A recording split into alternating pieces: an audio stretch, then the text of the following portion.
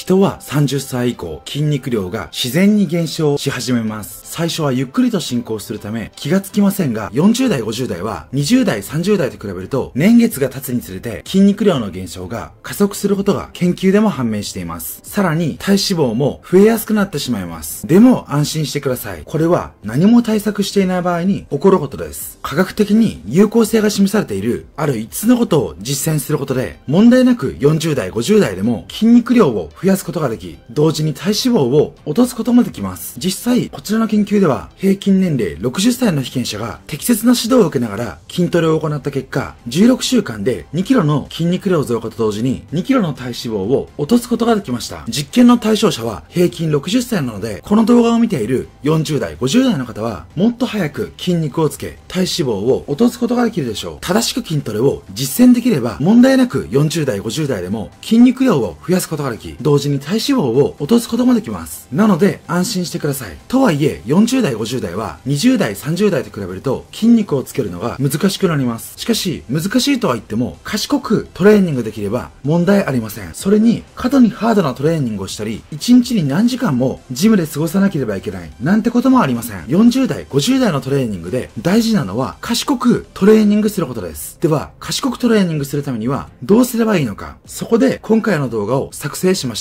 これから話す40代、50代が絶対にやってはいけない5つの注意点さえ守ってもらえれば筋肉量を増やしたり体脂肪を落としやすくなります。しかも、これから話すエビデンスに基づく方法は、私のボディメイクコーチングを受けた40歳以上の生徒さんたちも実践し、結果を出した成果実証済みの方法です。実際に40歳男性が2ヶ月でシックスパックをゲット。40歳男性が4ヶ月で筋肉量を落とさずにマイナス 7.5kg の減量に成功。52歳男性がフィジークコンテスト初挑戦準優勝。40代前半男性が筋肉量を増やしながら同時に体脂肪を落とすことに成功。60歳男性が多忙の中4ヶ月でバルクアップに成功など他にもたくさん実績者がいますが40代、50代を超えても数ヶ月でこれだけ体を変えることができています。エビデンスに基づいているだけではなく成果実証済みの方法ですのでぜひひ最後まで見ていってください。それでは早速、本題に入っていきますが、40代、50代が絶対やってはいけない注意点一つ目は、ウォームアップをおろそかにすることです。ウォームアップって面倒ですよね。その気持ちもわかります。でも、40代、50代以降のトレーニーは、ウォームアップを重視しましょう。なぜなら、40歳以上のトレーニーは、加齢による筋肉量や筋力の低下、関節可動域の制限、筋肉や関節周囲の組織の柔軟性の低下などの問題が若年者に比べて発生しやすく、怪我のリスクが高いからです。これは実際に研究でも40歳以上の方は40歳未満の方に比べて怪我のリスクが高いことが報告されています。だからこそウォームアップが重要です。実際研究でも、ウォームアップによって筋肉や関節を十分に準備することで、怪我のリスクを軽減できると報告されています。また、ウォームアップは、怪我の予防だけではなく、最大筋力の向上にも有効であることが示されており、適切なウォームアップの実施で、より大きな筋力を発揮できます。では、具体的にどのようなウォームアップ方法がいいのか、結論だけ先に述べると、最高のウォームアップは、次の2ステップです。ステップ1、一般的なウォームアップ。息が弾まない強度で5分から10分程度のジョギングやウォーキング、自転車で体を温める。ステップ2、特定のウォームアップ。実施するトレーニング種目のマックス重量の40%で15から20回行う。その後、マックス重量の80%で2から3回行う。この流れでウォームアップを行うことで、怪我のリスクを下げながら最大のパフォーマンスを発揮できます。ではなぜこのウォームアップ方法がいいのかわかりますか？これに関する研究があります。この研究は一般的なウォームアップと特定のウォームアップの組み合わせが最大筋力を向上させるかどうかを調べたものです。一般的なウォームアップとは筋トレを始める前に体を準備するための簡単なエクササイズのことで、ジョギングやウォーキングなどで体を温めることを指します。特定のウォームアップとは、例えば、ベンチプレスを実施する場合は、ベンチプレスを軽い重量で事前に行ったり、スクワットを行う場合は、事前に軽いスクワットを行うことを指します。研究では被験者を2つのグループに分け、一方のグループは一般的なウォームアップと特定のウォームアップの両方を行い、もう一方のグループは一般的なウォームアップのみを行いました。その結果、一般的なウォームアップのみを行ったグループと比較して、一般的なウォームアップと特定のウォームアップの両方を行ったグループの方が最大筋力が優位に向上しました。また、特定のウォームアップのみを行ったグループと比較しても、一般的なウォームアップと特定のウォームアップの両方を行ったグループの方が最大筋力が優位に向上していました。つまり、このような結果から一般的なウォームアップと特定のウォームアップを組み合わせたウォームアップが安全に最大のパフォーマンスを発揮するのに有効であることが分かりました。よって適切なウォームアップとしては、筋トレ前にウォーキングなので体を温めるだけでもいいんですが、それに加えて鍛える筋肉に焦点を当てた特定のウォームアップも合わせて行い、体を十分に温めた方が安全に良い結果が出やすいということです。では、ウォームアップの方法を具体的な2ステップで解説していきます。まず、ウォームアップの方法、ステップ1としては、一般的なウォームアップを行いましょう。例えば、筋トレ前にできる一般的なウォームアップとしては、5分から10分程度の息が弾まない低強度でのウォーキングやジョギング、自転車がおすすめです。これは血液の循環を促進し、筋肉を温めるために行います。筋肉の温度を上昇させると、筋力の発揮に関係する酵素や神経の伝達速度が高まり、運動パフォーマンスが高まることが研究で判明しています。また、筋肉は温度が低いと筋肉が裂けやすくなるという研究もあるため、これは大切になってきます。ちなみに注意点としては、ウォームアップの段階で疲労が蓄積するような過剰なウォームアップでは逆効果である点には要注意です。です体脂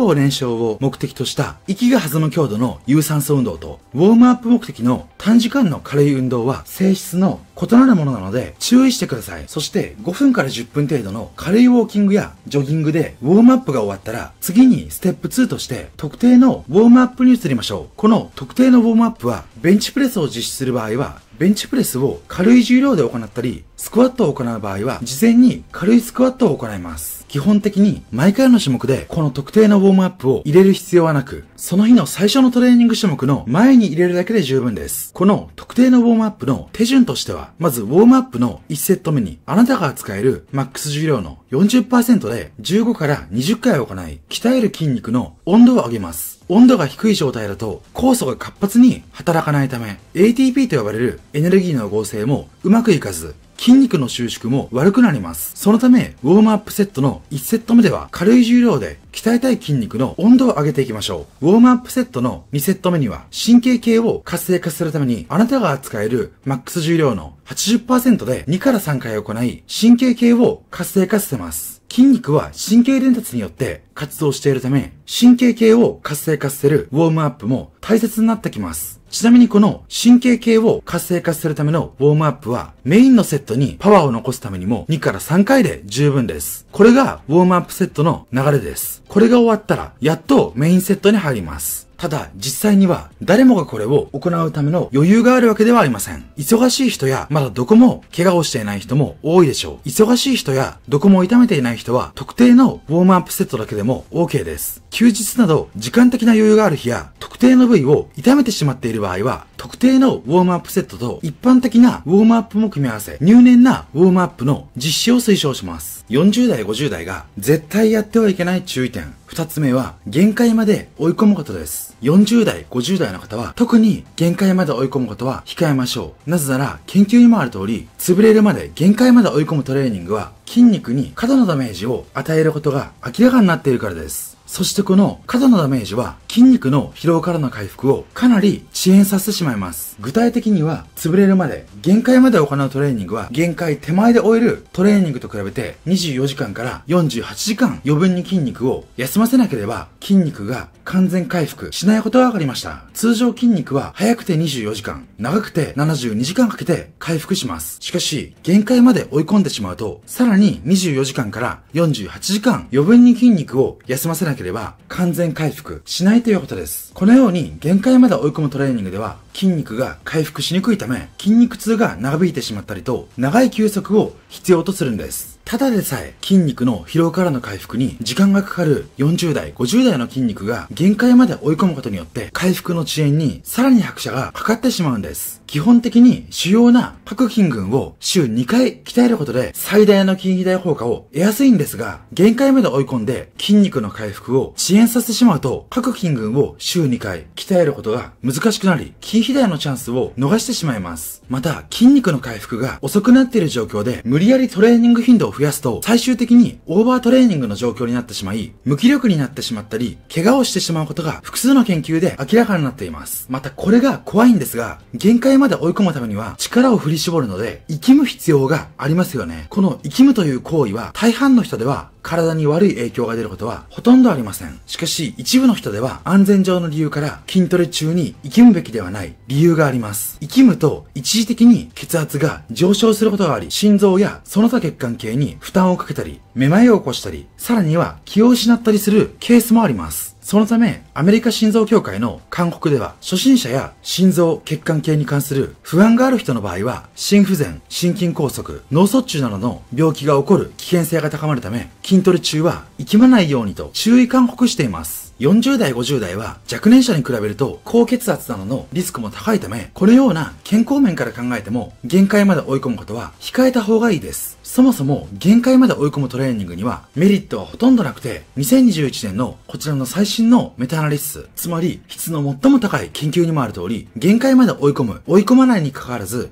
筋肥大効果に差がないことが分かっています。また、筋力に関しては、追い込むよりも追い込まない方が筋力向上効果が高いという結論が出ています。これは個人の感想ではなく、客観的な事実です。よく筋トレ系 YouTuber の方を見ると、トレーニングで限界を超えることによって筋肉がその辛さに反応して成長していくということを言っていますが、実はこの限界まで追い込むトレーニングが良いというのは、10年前の2012年までの間違った知識になります。現代は限界まで追い追い込むなが基本です。ただ例外的に追い込む必要があるタイミングがあって、それは自分のベンチプレスやスクワットといった種目のマックス重量の測定や記録更新をする場合です。この場合は限界まで追い込むのを避けられません。なのでこれは例外だと思ってください。では、限界まで追い込んではいけないということでしたが、実際にどのくらい余力を残して筋肉を鍛えれば筋肉の成長が最大化するのかというと、この結論は毎回のセットで1から3回分の余力を残してセットを終えるトレーニングニング法です。セット終了時にあと何回分の余力が残ってるかに目を向けましょう。あと1回も上がらないというギリギリまで筋肉を追い込むのではなく、あと1回は上げられそうだという余力を残しておくことが筋肉の成長につながるんです。実際この余力を残すことの有効性は数多くの研究で示されており、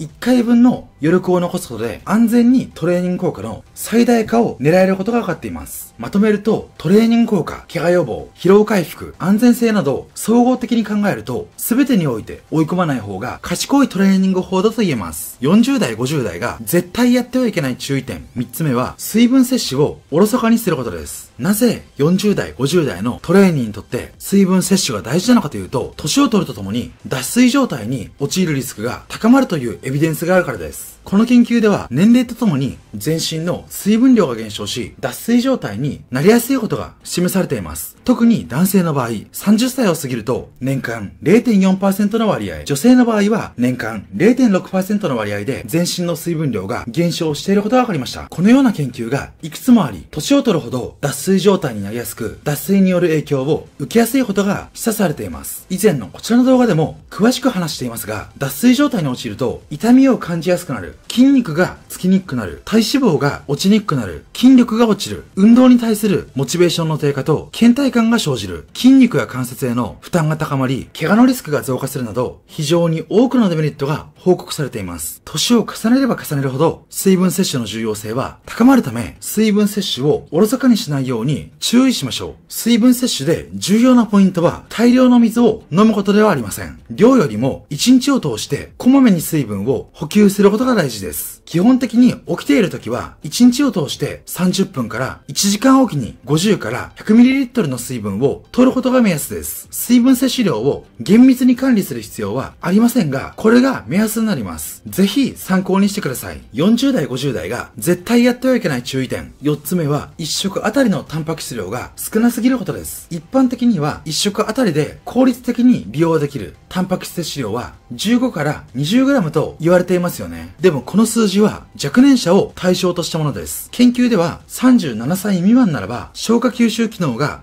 優れているため1食あたり体重かける 0.24g でも十分であるという研究結果があります。つまり例えば、体重70キロであれば、70×0.24 イコール 16.8g で、1食あたり 16.8g の摂取で、筋肥大反応が最大化するということです。つまり、ほとんどの若年者は、1食あたり15から 20g の範囲で、タンパク質を取れていれば問題ありません。しかし、40代、50代のトレーニーは、この摂取量では少し足りない場合が多いです。なぜなら人は、加齢とともに摂取したタンパク質を筋肉に作り変える能力が低下していくからです。そのため研究では、37歳以上の場合は、1食あたり体重かける 0.4g の摂取が必要であるというエビデンスがあります。つまり例えば、体重 70kg であれば、70×0.4g イコール 28g で、体重 70kg の場合で、37歳以上の方は、1食あたり 28g の摂取で、筋肥大反応が最大化するということです。筋肥大反応の最大化を目指している40代、50代の方は、1食あたりのタンパク質量に気を使ってみてください。40代、50代が絶対やってはいけない注意点。5つ目は、パワートレーニングにこだわりすぎることです。パワートレーニングとは、1回の反復速度を4秒以内で行うトレーニングのことであり、ほとんどの皆さんが行っているトレーニングは、このパワートレーニングになります。このパワートレーニングと対になるのが、スロートレーニングです。スロートレーニングは、名前の通り、ゆっくりとした反復速度で行うトレーニングのことを指します。パワートレーニングは、スロートレーニングに比べると、筋肥大、筋力向上が起こりやすいという複数のエビデンスがあるため、多くの人が実践している一般的な方法です。しかし、40代、50代の場合は、このパワートレーニングにこだわりすぎない方がいいでしょう。パワートレーニングも40代、50代のトレーニーにとって大事ですですが、それ以上にバランスが大切です。なぜなら、パワートレーニングはトレーニング効果が大きいというメリットはあるものの、怪我のリスクが高いからです。パワートレーニングで筋肥大や筋力向上効果を促すためには高い負荷が必要です。しかし、負荷が高いと怪我や痛みの危険性が高まります。パワートレーニングに40代、50代の方がこだわりすぎると若年者に比べて関節周囲の組織や筋肉の柔軟性が乏しいため容易に体を痛めてしまいます。特定の部位を痛めている場合や自信がない部位を鍛える場合にはより安全で怪我のリスクの低いスロートレーニングを行うことも有効です。このスロートレーニングは軽い負荷でも筋肥大が起こりやすいのが理利点です。実際に研究でこのスロートレーニングの有効性は示されています。一般的に 1RM の50%という低強度トレーニングでは 1RM の80%という高強度トレーニングと比べて筋肥大は起こりにくいと言われていますよね。しかしこの研究では 1RM の50%のスロートレーニングは高強度トレーニングと同等の筋肥大が起こることが分かりました。スロートレーニングならば重い重量を扱わなくても筋肥大を誘発しやすいためより安全にトレーニングできます。特定の部位を痛めている場合や自信がない場合はスロートレーニングを取り入れることも有効です。これまでの指導経験の中でも、パワートレーニングでダンベルプレスを行うと肩が痛くなるけれど、スロートレーニングでは肩が痛くないという方も非常に多いです。スロートレーニングだと痛みが出にくい場合もありますので、トレーニングの引き出しとして一つ覚えておくといいでしょう。ちなみに、スロートレーニングの方法はいくつかありますが、3秒かけてウェイトを持ち上げ、3秒かけて下ろすという方法で有効性が示されているため、この方法で実践することを推奨します。ということで、加齢によって筋肉がつきにくくなる現象を打破するるためには、次のことを避けるようにしましょう。ウォームアップをおろそかにすること。限界まで追い込むこと。水分摂取をおろそかにすること。一食あたりのタンパク質量が少なすぎること。パワートレーニングにこだわりすぎること。この5つです。すべてをいきなり改善することは難しいと思うので、できるものから徐々に取り入れていきましょう。これらは成果実証済みの方法です。ただ、ここまでの話を聞いて、年齢的にもう遅いでしょとか、年齢的に厳しいよ。こんな風に思ったかもしれませんが、筋トレに遅いなんてことはありません。今日は人生で一番若い日です。しっかり学んで、賢くトレーニングすれば、年齢問わず成果が出ますので、ボディメイクは大変ですが、絶対に諦めないで、正しく継続していきましょう。この動画をきっかけに、一人でも救えると嬉しいです。そして、今年一、重要なお知らせがあります。2023年4月15日土曜日19時に LINE 限定配信3日間限定でとてつもない数の成果を出してきた最新エビデンスに基づくアプローチ×ボディメイクプレミアム動画書籍セットを概要欄にある公式 LINE で無料配信しますので必ず2023年4月15日19時までに以下の公式 LINE に登録しておいてください。1年以上かけて作った今年一役立つ情報になっていますので楽しみにお待ちください。そしてこちらの3万人以上の方が登録してくれているこの公式 LINE では私や私のコーチング受講生が最短3ヶ月から半年以内に理想の体を手に入れて、なりたい自分を実現できた方法の配信と、ボディメイクを継続できて、やりきれる環境を用意しています。効率が悪い、時間がない、継続できない、成果が出ないと悩んでいて、短期間であなたの求める理想の体を手に入れて、なりたい自分を実現したいのであれば、ぜひ、下の動画の概要欄から登録しておいてください。さらに今なら、期間限定で無料で自分に合ったボディメイク方針のヒントがもらえるボディメイク診断と、その診断結果の落ちた減量プログラムと増量プログラムの配布をしています。また、効率的に全身をバランスよく鍛える最強7種目の完全ガイド、電子書籍改訂版、ボディメイクに役立つサプリメントガイド、電子書籍改訂版の2点の無料プレゼント。その他にも LINE 登録者限定、無料講義動画4本や厳選した60本以上の動画の中からあなたに合ったハイクオリティ動画、コーチング体験者の声、この合計7つの無料特典を手に入れたい方は、期間限定配信ですので、今のうちに下の動画の概要欄から LINE 登録しておいてください。このチャンネルでは短期間で理想の体を手に入れる重なボディメイク法をできるだけわかりやすく配信しています。そういった配信を見逃したくない人は、今のうちにチャンネル登録とその横にあるベルマグのタップをよろしくお願いします。またもしこの動画が役に立ったという方がいれば、いいねをしたり、学びをコメント欄にアウトプットしてもらえればと思います。ということで今回も最後までありがとうございました。それではまた次回の動画でお会いしましょう。